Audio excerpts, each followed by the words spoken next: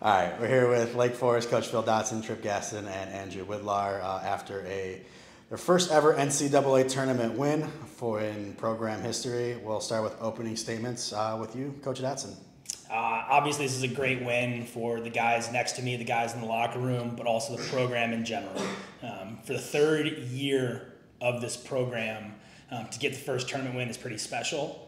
But when you look at this season and you look back at last year and year one, um, you know, I think what really showed today was the experience that these two guys sitting next to me have been in the national tournament before. So when we started to struggle in that second quarter, um, they just responded in the second half and took care of business. So great win for the program, great win for the guys. Uh, Trip, let's talk about the offense early on, right? Early four nothing lead. Uh, what was kind of clicking for clicking for everyone on the attacking end? You know, I think we started off saying they weren't really going to slide to us. We just had to beat our matchups. And at the start of the game, we uh, kind of just beat those matchups and really got the ball to the goal and uh, made the goalie make saves. And some of them fell, and he made some great saves. So. And Andrew, kind of telling off of that, uh, when they were making their run, a couple huge saves down the stretch, um, just to just kind of keep that gap to have for that comfortability level. What was, what were you kind of seeing out there? I mean, some big, some big point blank ones too, as well. Yeah, it was just you know not thinking, just blocking the ball. Um, we have a great defense, and they really know what to do. Um, we just had to keep it simple, not overcomplicate anything, and then we were perfectly fine. Sure. Not good. Coach, we'll go back to you. Uh, from the beginning of the season, you said you wanted to get back to this moment. Certainly got back here, got to do it at home. Just take me through the emotions on the sidelines before the opening face-off who before the opening face-off, um, that's when you're the most calm. That's when you feel prepared. There's nothing you can do except let the game play out, um, and that's exactly what we did. Um, second quarter, not so calm, um, but end of the game, up three with a minute left. Um, then it started to set in and be really real. Uh, Trip, I'll go back to you. Man up offense, continuing to click in the postseason. Uh, what did you just kind of see out of the special teams? You know, I think they were really pressuring us, which we planned for, and we were able to move the ball around that and um, kind of find great step down opportunities as they were pushing out kind of on the backside to be able to find like great 10 yard step downs where we uh, found the back of the net.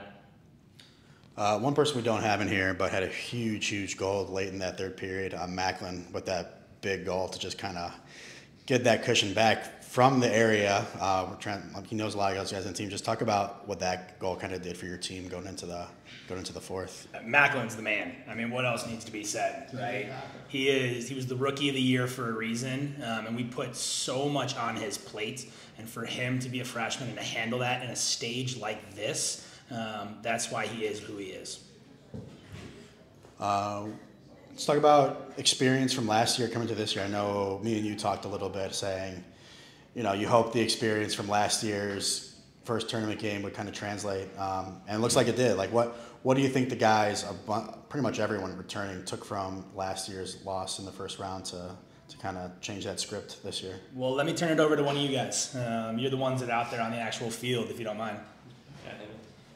So I think this year we really came in with a mindset of it doesn't matter who's who we're playing against. It's really just about us. I think we're going to continue to take that mindset um, but it's really coming from the upperclassmen, but even the freshmen who are just calm before this game. Like it doesn't matter who we're playing. It doesn't matter like how big the moment is. It's really just this game, one at a time.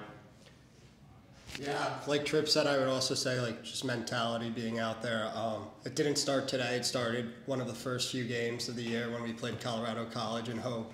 Um, we went in just with a different mindset than last year in the, going into the tournament, and that whole mindset has carried all the way through the season up until this point, and it's going to continue to carry. Just we don't care who's out there; we're just going to play our best. All right, thanks, guys. Thanks.